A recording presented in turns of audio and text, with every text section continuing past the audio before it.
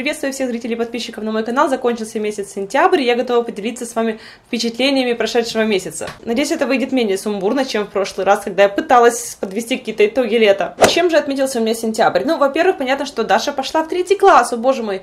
Моя дочка пошла в третий класс. Она уже такая большая, у нее уже даже сами выпадают зубы. У Дашки поменялось уже 8 зубов, боже мой. При этом из первых шести ни один не выпал сам. И я думала, что ей также не повезло, как и мне, потому что у меня в детстве точно так же ни один зуб не выпал сам. И не помогало то, что я его там шатала или пыталась дергать. Все мои молочные зубы когда-то очень давно в детстве были выковырены в кабинете у стоматолога. И Даши первые шесть зубов сами никак не выпадали. Но седьмой и восьмой сверху почему-то решили выпасть сами. При этом первая она еще как-то так расшаталась, сама дернула, второй у нее выдернулся об еду. Я даже не уверена, то ли это реально он сам выпал, то ли это Дашин страх перед походом к стоматологу заставил ее сделать это самостоятельно. Теперь немножко про работу. Я вам хочу рассказать о том, что я забыла сказать вам в впечатлениях лета, как раз может быть и нормально, потому что слишком сумбурное то видео вышло. Мы купили офис, мы купили свой офис. Сейчас мы арендуем офис. То есть, да, был какой-то период, когда мы начинали, когда весь товар, допустим, да, лежал у нас просто дома, потом мы поняли, что нашего дома недостаточно, и мы арендовали офис. Сейчас мы понимаем, что мы разрастаемся,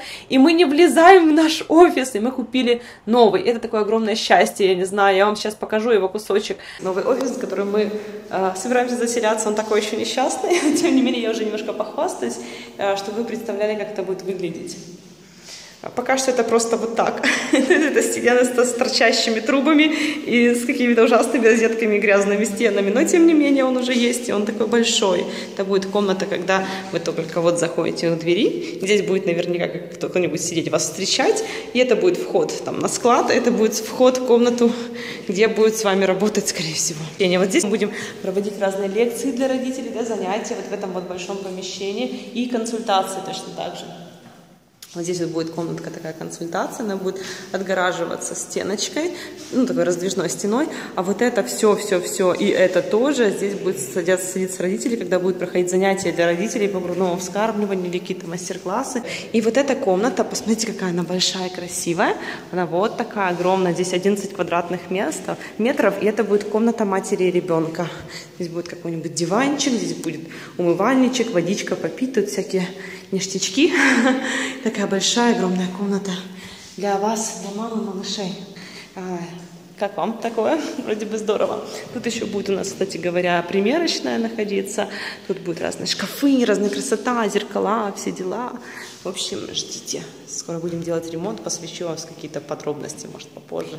Я думаю, что в процессе того, как мы будем делать ремонт в этом офисе, я буду делиться с вами своими впечатлениями, ну, как раз впечатлениях месяца, потому что для меня это большое событие, знаете, то есть вы понимаете, это вот наше, то есть вообще мы уже ничего не зависимы, это наша такая штаб-квартира, да, где все это будет происходить. Это большое счастье, а, потому что имея такой большой объем, да, такую большую площадь, появляется больше возможностей для творчества, да, для работы, для того, чтобы приглашать туда больше людей, сотрудничать с моими коллегами, консультантами в других областях и так далее. Я очень надеюсь, что этот мой новый центр консультаций для родителей принесет много пользы. То, что случилось также этим летом, э, меня пригласили на занятия в перинатальный центр. То есть у нас есть перинатальный центр, это бывший седьмой роддом, и в отделении для недоношенных я сейчас веду занятия по грудному вскармливанию и занятия по слингоношению, потому что там как раз то отделение, где мамы вынашивают на себе детей практически методом кенгуру. И я как раз объясняю, как работает метод кенгуру. Получилось так, что я туда пришла один раз по просьбе одной из мам, которая ну, вот лежала там со своим недоношенным малышом. И заведующей так понравилось мое выступление, что она попросила сделать их на постоянной основе. Теперь раз в месяц я там, это счастье делиться актуальной современной информацией с молодыми мамами, с их малышами и также со специалистами, потому что и медицинские работники тоже с удовольствием слушают и про особенности грудного вскармливания и вынашивания недоношенных детей на себе. Это очень приятно. Неужели, господи, моя страна и правда куда-то идет в правильном направлении? Дальше. Мои занятия по грудному вскармливанию, они вышли уже за пределы моего центра консультации, и теперь я их провожу также а, в одном коворкинг-центре для родителей. У нас есть коворкинг-центр с детьми, который называется «Зеленка». Он находится в центре, на Ярославом валу, и теперь периодически я там провожу занятия. Как раз сегодня, когда выходит это видео, 11 числа, у меня там занятия по ведению при комбикормы для детей. Так что, если кто-то в Киеве, кому-то актуальна эта тема, разные темы по грудному вскармливанию, вы можете записаться как в мой центр консультации, так и в зеленку на те темы, которые вас интересуют. Я начала готовить свою курсовую работу Трагишуле. Трагишуле — это немецкая школа слинга-консультантов, которой, собственно, я обучаю. Я прошла там базовый курс. И в марте, как я вам говорила в предыдущем педе с впечатлениями месяца, я собираюсь ехать туда на повышение квалификации. Это будет продвинутый и сертификационный курс. То есть сразу два курса я прохожу. И для этого мне нужно сдать курсовую работу. То есть показать, как я работаю, какие навыки я имею, какие у меня впечатления, фотографии, то есть все вот это дело. И, кстати говоря, уже даже известны даты обучения в марте. То есть я буду в Питере в марте с, по-моему, 7 а, марта по где-то 13. И что самое удивительное, получается, что идет первый курс три дня, потом второй курс три дня, а между ними 10 марта там перерыв, и 10 марта у меня день рождения, то есть на свой день рождения в следующем году я буду в Питере. Поэтому я думаю, может быть, действительно получится встретиться с кем-то из Питера, из подписчиков, э, увидеться, не знаю, пообниматься, да, просто обменяться какими-то впечатлениями. Еще что интересно у нас произошло. А, ну, в Украине у нас было землетрясение. Я так поняла, что это какая-то, а, ну, как бы волна с какой-то другой страны была, но суть в том, что у нас в очень многих городах потрясло конкретно. В Киеве было до 4 баллов, это было 2 часа ночи. Многие проснулись, некоторые пугались, некоторые думали, боже мой, нужно раньше ложиться спать и меньше пить кофе на ночь. Но потрясло так конкретно. И Киев рассказывал, и Чернигов, и Хмельницкий, и Одесса. То есть все говорили, что чувствовали толчки. Ну, наверное, тоже стоит вам похвастаться. У меня новый телефон. Мой телефон старый, он как-то так странно заболел. Мы думали, что проблема с батареей, потому что он держит батарею очень-очень плохо. Он, ну, буквально вот за два часа он разряжался полностью. Мы купили новую батарею, но она тоже разряжалась полностью. То есть, судя по всему, там какая, какой-то глюк ну, в самой системе или в чем, я в этом не разбираюсь. Но теперь у меня новый модный классный телефон, я им очень довольна. Именно его я хотела. Это Samsung а, Galaxy A5 2016 года сборки, сборки. А510 он полностью называется. И вот он реально классный. В то же время это не А7, как лопата такая, ветрозащита, знаете. По-моему, даже в мою сумочку не влезет. А этот, ну, просто класс. Меня очень часто спрашивают подписчики о том, что это у тебя за чехол такой прикольный. Девочки, это я на Алиэкспресс купила наклейки в виде таких планет. Там целая упаковка этих наклеек пришла, и теперь я их клею на все чехлы, которые у меня есть. Он смотрится очень прикольно. То есть достаточно купить какой-то простенький, очень такой силиконовый чехол, но когда ты обклеиваешь его вот, вот так вот планетами, получается очень ярко и здорово. И благодаря этому моему телефону я возобновила свой перископ. На, на старом телефоне я не могла его вести, потому что мало того, что батарея сама по себе садится, но вы знаете, как еще перископ ее сажает. Там буквально 10 минут, и все, телефон отрубался, и невозможно было снять. Здесь и камера получше, и телефон держит очень классно. Я даже в перископе сейчас снимаю мои занятия по грудному вскармливанию, буквально сутки они висят, поэтому тем, кто не может приехать в Украину, в Киев и поучаствовать, то вы можете посмотреть это в перископе в тот день, когда есть. В своих соцсетях я обычно всегда предупреждаю, делаю такой анонс, когда будет занятие. И за час буквально я предупреждаю о том, что в Перископе будет трансляция, поэтому кто хочет, может также поучаствовать и посмотреть, как это происходит. Возобновлю такую еще старую традицию рассказывать вам о всяких интересных происшествиях а, с теми, ну, скажем, ребятами, которые работают с блогерами, да, ну, то есть вот о разных компаниях, которые присылают что-то на обзор и все такое. Эта история какая-то удивительная, потому что она вроде как позитивная, но в то же время отдельное видео снять про это я не могу, потому что подумать, что реклама. Ну, вот, слушайте, а, сейчас вы, наверное, видели, сейчас во всех соцсетях, во всех на Фейсбуке, везде сейчас была проплаченная реклама средств для ресниц Релэш, если вы помните, да, там такое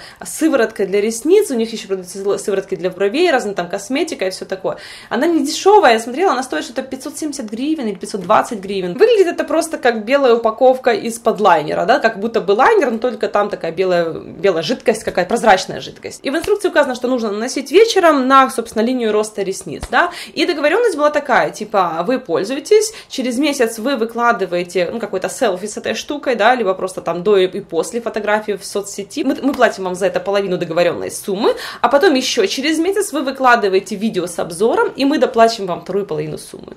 И, собственно говоря, окей, сделаю, я это все, я это все мазала, я вывесила эти фотографии до и после, я не знаю, может быть, кому-то из вас показалось, что там есть разница, я вообще не увидела разницу, то есть за месяц разницы ноль. А, может быть, показалось, что где-то там темнее, чуть-чуть где-то светлее, но мне кажется, это просто из-за игры света, потому что все-таки фотографии делались, ну, как бы не на одном месте, не, не в одно время. По длине, по густоте я ничего не заметила. И получилось как? Окей, я выложила эту фотографию, ну что, ребята, давайте платите как бы деньги, да? Они такие, ага, ага, давайте нам, короче, свои реквизиты а, с IBAN-кодом. Ну, суть в том, что у нас в Украине он не поддерживает IBAN-код.